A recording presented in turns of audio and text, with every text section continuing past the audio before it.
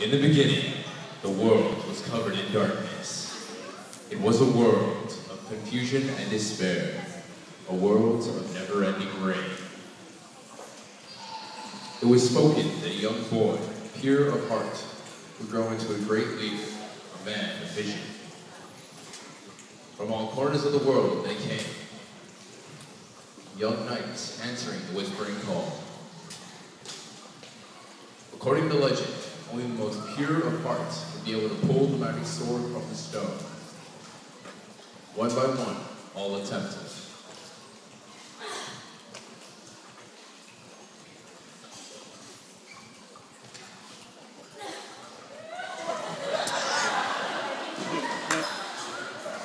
And all failed.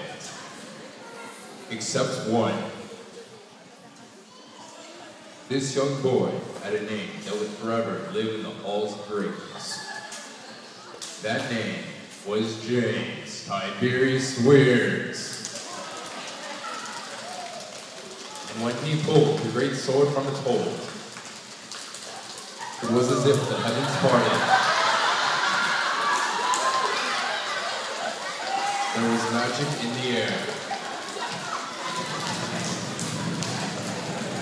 Together, young Jim Weirs and his newfound followers would form a new order of knights, noble and strong.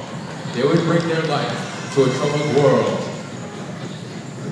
And as time passed, their numbers grew.